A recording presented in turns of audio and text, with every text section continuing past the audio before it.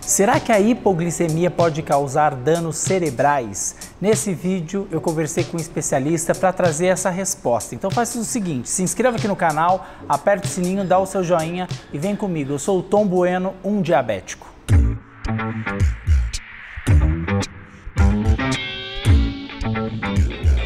Um diabético. Atenção, ó, se você ainda não me segue nas redes sociais, siga o perfil arroba um diabético. Lá eu compartilho várias informações e conteúdos para te ajudar no seu dia a dia a conviver com o diabetes. E para trazer a resposta do tema desse vídeo, eu conversei com um especialista. Olha só os pontos importantes que você precisa saber entre hipoglicemia e os danos cerebrais.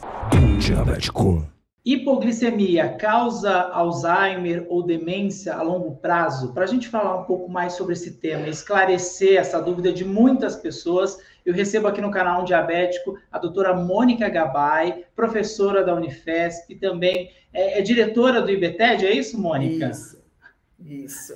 Bem-vinda. Super prazer de estar aqui. E eu acho que para a gente discutir um tema super importante, que é a hipoglicemia grave, especialmente aquela repetida. Então vamos lembrar que assim, ter hipoglicemia, a maioria das pessoas percebem isso, isso é muito importante. Ninguém quer ter sintoma de hipoglicemia, e é comum às vezes escutar um paciente falar: "Ah, eu fiz 50 de glicose, mas eu não sinto nada, para mim está tudo bem". Esse é um paciente que a gente preocupa. Por quê? Tem dois momentos da vida que a gente deve se preocupar com hipoglicemia: as crianças muito pequenininhas e os idosos. Essa é uma etapa da vida que o cérebro está mais vulnerável a essa alteração da glicose. Então, vamos lembrar que o cérebro corresponde a só 2% do total do nosso corpo, mas consome 25% da nossa energia em glicose. Então, ele precisa de glicose. Então, quando a criança está em desenvolvimento, em crescimento, especialmente os primeiros seis anos de vida, o cérebro vai crescendo. Uma criança que tenha muita hipoglicemia, frequente, e às vezes numa criança pequenininha é difícil identificar, porque ela não vai saber relatar. Às vezes é uma criança com choro diferente, uma criança com irritabilidade, e por isso a importância da gente monitorar a glicose de maneira contínua. Nos pequenininhos, o cenário ideal seria o uso até de sensor, e não podendo usar, usar sensor, fazer frequentemente a pontinha de dedo, especialmente na hora de dormir, e muitas vezes a gente pede para os pais até, ó, mede na hora de dormir, mede na madrugada, uma vezinha de manhã, para a gente entender a ação das insulinas, entender se a dose está adequada para não ter risco de hipoglicemia. Então, precisamos conhecer os sintomas. O adulto, aí ele já sabe reconhecer, a criança maior, ah, eu tenho mal-estar, meu coração dispara, minha boca fica diferente, eu tenho tremedeira, eu tenho fome, eu fico irritado. A gente tem que conhecer os sintomas e valorizar esses sintomas. Porque à medida que começa a ter hipoglicemia de repetição, infelizmente, se ela não é cuidada corretamente, o organismo meio que se acostuma com ela. E aí a gente deixa de reconhecer os sintomas de hipo e, portanto, pode fazer uma hipoglicemia grave sem perceber. E aí sim, hipoglicemia repetida num cérebro exposto frequentemente a baixos níveis de glicose pode ter prejuízo, sim, ao longo do tempo. Então, para responder né, a dúvida da maioria, hipoglicemia né, pode, a longo prazo, causar demência e até mesmo Alzheimer? Bom, então vamos entender isso. A hipoglicemia a longo prazo pode afetar o desenvolvimento do cérebro, sim, numa criança pequena, e no idoso, que o cérebro já começa a ficar mais devagar no seu desenvolvimento, também isso é prejudicial. Agora, imagine uma pessoa que está sujeita a hipoglicemias graves, de ba... vamos lembrar, gente, hipoglicemia grave é aquela que eu preciso de auxílio de alguém, valores especialmente abaixo de 50, e isso ocorre frequentemente.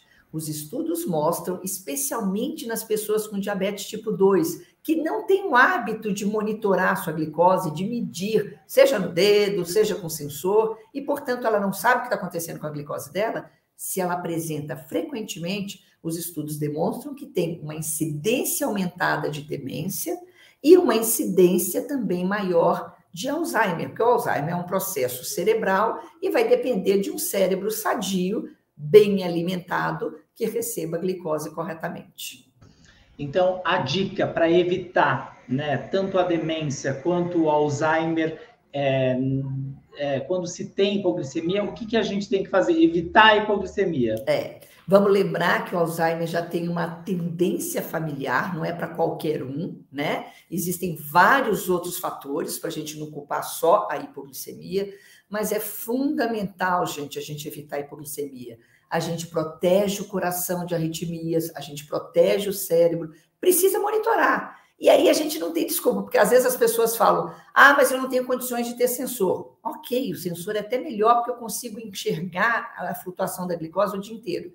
Mas se você tem a fita, é fazer com frequência. Tão comum a gente ver na rede pública, a gente vê isso muito na Unifesp. O cara recebe de, é, de 150 a 200 fitas por mês, que corresponde 5 a 7 medidas por dia, e devolve as fitas, porque mediu uma vez porque sentiu sintoma ou qualquer horário aleatório. Portanto, o segredo, como sempre, é se conhecer, medir a sua glicose e saber o que fazer numa situação em que ela, ela baixe para evitar que essa hipoglicemia demore. É a frequência e o nível da hipoglicemia que é importante a gente evitar. Tá aí, doutora Mônica Gabay esclarecendo uma dúvida muito comum e super relevante e importante. A gente não tem o objetivo de causar alarme, alarde, né, desespero, mas com informação a gente consegue lidar melhor com situações que possam trazer né, prejuízos para a nossa saúde, para a nossa vida é, no futuro. Doutora Mônica, obrigado pela sua participação aqui no canal Um Diabético. Um Diabético. Gostou do vídeo? Compartilha então. Vamos juntos levar informação a quem precisa. Até mais, boas glicemias. Aqui no canal Um Diabético tem muito mais vídeos legais, então aproveita para dar um joinha, se inscrever no canal e ativar o sininho de notificação para curtir todo o meu conteúdo. Obrigado por me assistir e boas glicemias.